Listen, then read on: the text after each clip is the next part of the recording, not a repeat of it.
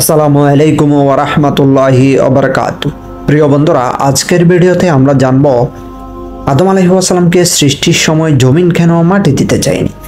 আদম আলাহ ইসলামের সৃষ্টির কাহিনী আল্লাহ তালা আদম আলাহ ইসলামের সৃষ্টির ঘোষণা দেন এভাবে, আমি পৃথিবীতে প্রতিনিধি সৃষ্টি করব। তখন ফেরস্তাগণ বলল, আপনি কি জমিনে এমন কাউকে সৃষ্টি করবেন যারা সেখানে অশান্তি এবং রক্তপাত করে বেড়াবে? এবং আমরাই তো আপনার প্রশংসা করে বেড়াচ্ছি। আর আপনার পবিত্রতা ঘোষণা দিয়ে চলেছি। আল্লাহ বলেন, তোমরা যা কিছু জানো না, সেই সব কিছু আমি অবশ্যই জানি। সোরা বাখারা আয়াত নম্বর তিরিশ। আল্লাহ তালা উক্ত ঘটনায় প্রদান করে আদম আলী ইসলামকে সৃষ্টি করার আয়োজন করলেন। আয়োজন দেখে ফেরস্তারা ভাবলেন, তাদের মতো উন্নত সৃষ্টি সম্ভব নয়। এই সম্পর্কে ইবনে আব্বাস রদি আল্লাহ তালাহু বলেন, তখন ফেরস্তাগান বলেছিলেন, আমাদের চাইতে বেশি মর্যাদাপূর্ণ ও জ্ঞান ভালো সৃষ্টি হওয়া অসম্ভব। সোরা বাকারার চৌত্রিশ নং আয়াত থেকে প্রমাণিত হয়। কিন্তু আল্লাহ তার নিজ সিদ্ধান্তে আদম আলী ওয়াসালামকে সৃষ্টি করার জন্য মাটি আনার জন্য প্রথমে জিব্রাইল আলী ওয়াসালামকে পাঠালেন। জিব্রাহিল আলী ওয়াসালাম পৃথিবীতে মাটির জন্য আসলেই পৃথিবীর মাটি বলল, আপনি আমার কিছু অংশ নিয়ে কমিয়ে দিবেন। এটা থেকে আমি আল্লাহর কাছে আশ্রয় চাই। এই কথা শুনে জিব্রাহিল আলী ওয়াসালাম ফিরে আসলেন। আল্লাহ তালার মথের ফেরস্তা আজরাইল আলী পাঠালেন। আজরাইল আলী ওয়াসালাম এসে জমিনেও একই কথা বলল। আজরাইল আলী ইসলাম বললেন, আল্লাহর আদেশ পালন না করে ফিরে যাব, এটা থেকে আমি আল্লাহর আশ্রয় চাই। একথা বলে আজরাইল আলী ওয়াসালাম জমিন থেকে এক মুঠো মাটি নিয়ে নিলেন। সেই মাটির রং ছিল কিছু কালো, কিছু সাদা।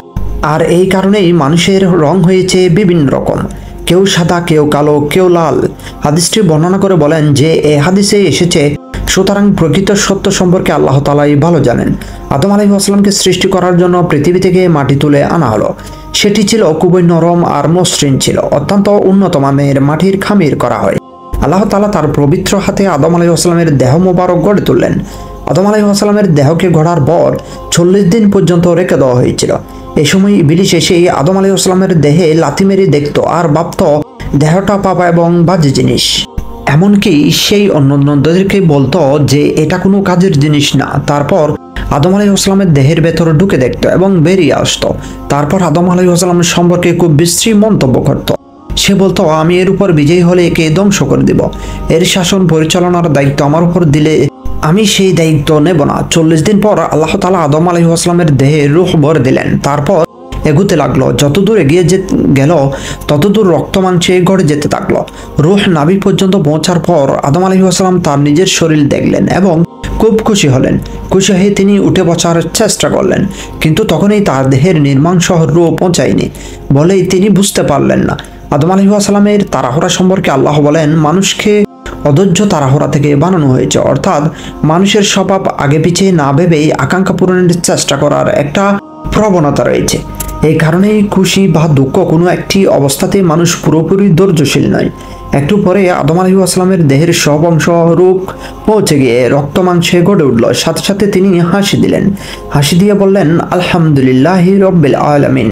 আল্লাহ তালা তার এই জবাবে বললেন ইয়ার হামুকাল্লাহ অর্থাৎ আল্লাহ তোমার প্রতি সদয় থাকুন এবং এর থেকে প্রমাণিত হয় এর এরপর আল্লাহ তালা আদম আলী আসালামকে যাবতীয় কিছুর নাম শিক্ষা দেন। এরপর ধারণার চেয়ে উত্তম বাক্য হিসেবে আদম আলী আসালামের মর্যাদা প্রতিষ্ঠায় তাফসিকারগণ বলেন, আদম আলী আসালামের মর্যাদা প্রতিষ্ঠা হয়। এমন বিদ্যাসাগরেরও ছিল না। আল্লাহ তাকে আল্লাহর সৃষ্টির নাম শিক্ষা দেয়। এমনকি তিনি তাকে এই ঘোড়াগাদার নাম, ব্যবহার্য জিনিসের নাম আর ফেরাস্তাগনের নামও আলাদা আলাদা করেই শিক্ষা দেয়। এর ফলে আদম আলহু আসলামকে যখন সকল সৃষ্টির নাম বলার আদেশ দেওয়া হলো, তখন তিনি সবাই বলতে পারলেন। এমনকি তিনি ফেরাস্তাগণকে এভাবে বলতে পারলেন, আপনি জিব্রাইল মিখাইল ইসরাফিল। এর যাই অর্থাৎ আল্লাহ তালা তাকে নাম জানানোর সাথে সাথেই নামদারির পরিচয় জানান। এভাবেই তার শিক্ষা পুরোপুরিভাবেই সম্পূর্ণ হয়েছিল। একটি হাদিসে এরকম বর্ণিত আছে যে, সকল দিনের মধ্যে শুক্রবার দিনটি উত্তম। আদম আলহিহাসাল্লামকে সৃষ্টি করা হয়েছিল শুক্রবারে। তাকে জান্নাতে নেওয়া হয়েছিল শুক্রবারে এবং শুক্রবারে তাকে জান্নাত থেকে বের করে দেওয়া হয়েছিল এবং আদম আলহিহাসাল্লামকে সৃষ্টি করার আগে আল্লাহ তালা ফেরস্তাগণদের বলেন, আমি মানুষকে কণ্ঠনালীর শুকনো মাঠে দিয়ে সৃষ্টি করব। এরপর আল্লাহ মানব জাতিকে এই প্রসঙ্গটি কোরআনে এভাবে বলেছেন, আমি যখন আদমকে তৈরি করলাম, তখন আমি আদমের দেহের মধ্যে রুহ ফুকে দিলাম। রুহ আদমের দেহে প্রবেশ করার ফলে আদমের দেহ রক্ত মাংসে জীবন্ত দেহ হয়ে গেল। তখন আমার এই ক্ষমতা দেখে ফেরস্তাগণ আদমের সিজদায় পড়ে গেল। আল্লাহ এরকম করেন এজন্য যে, এর মাধ্যমে তিনি ফিরিস্তাগণের দ্বারা কুদরতের ইলাহি স্বীকৃতি আদায় করেন। সিজদার করার আদেশ দ্বারা সৃষ্ট মাকলুককে সিজদা করানো হয়নি, বরং প্রকৃত সিজদা আল্লাহকেই করা হয়েছিল।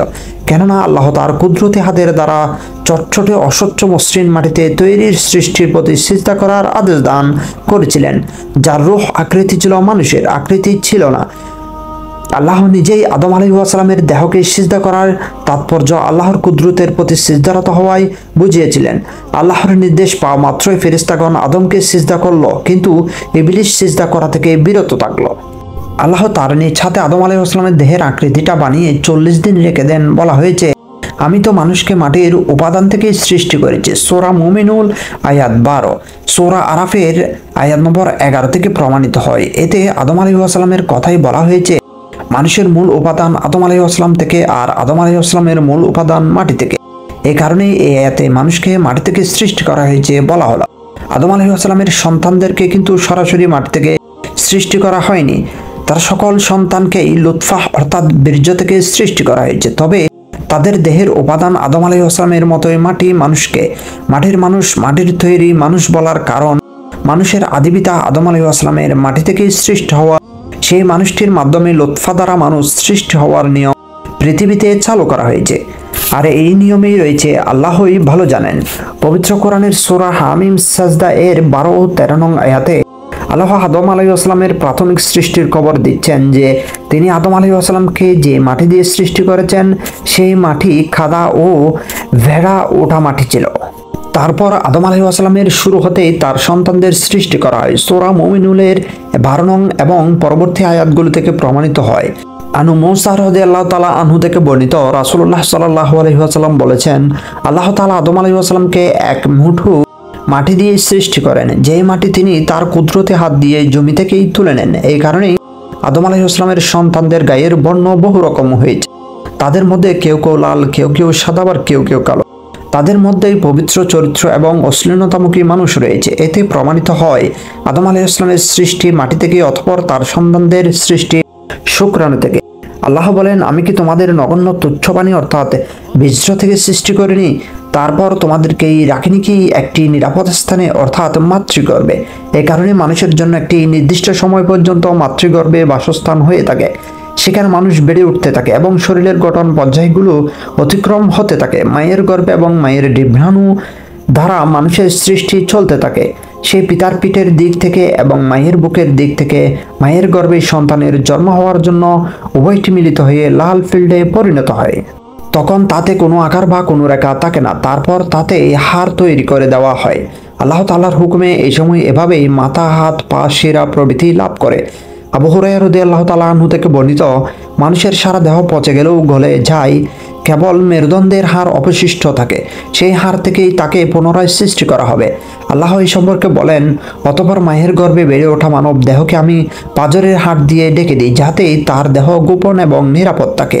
এরপর আল্লাহ রুখকে দেন। এর ফলেই যোগ্যতা আসতে থাকে। তারপর সেই জীবন্ত মানুষ হয়ে ওঠে। তার মধ্যেই দেখাশোনার বোঝার এবং স্থির থাকার শক্তি ঘটে ওঠে। আদমকে মাটি তারা সৃষ্টি করেন। আবার আদমের শুক্র থেকেই তাদের সন্তানদের সৃষ্টি করেন। এরপর থেকে আদম সন্তানদের শুক্র থেকে সৃষ্টি করার নিয়ম চালু করেছেন। আল্লাহ কতই না মহান, স্রষ্টা। মায়ের পেটে বিভিন্ন অবস্থায় অতিক্রম করে আদম সন্তান অবুজ অবস্থায় জন্মগ্রহণ করে, তারপর ধীরে ধীরে যৌবনে আসে, তারপর সেই পৌর হয়। আল্লাহ তার মধ্যে রুহকে দেন, সেটাকে কেন্দ্র করে বেড়ে ওঠে এবং একসময় অর্থাৎ আল্লাহর দেওয়া রুহকে কেন্দ্র করেই মানুষের যাবতীয় রূপান্তর ঘটে থাকে। আদম আলাহি আসলামের সৃষ্টি সম্পর্কে পবিত্র কোরআন হাদিসের বর্ণনা রয়েছে। বহু বর্ণনায় আদম সন্তানের জন্ম সম্পর্কে রয়েছে। এমনি মাসুদ রদিয়াল্লাহ তালাহু বলেন শুক্র বা বীর্য গর্ভাশয়ে পড়ার পর তা প্রত্যেকেই চুল ও নখের স্থানে পৌঁছে যায়। এরপর চল্লিশ দিন কেটে যায়। তখন শুক্র জমাট রক্তের আকার নেয়।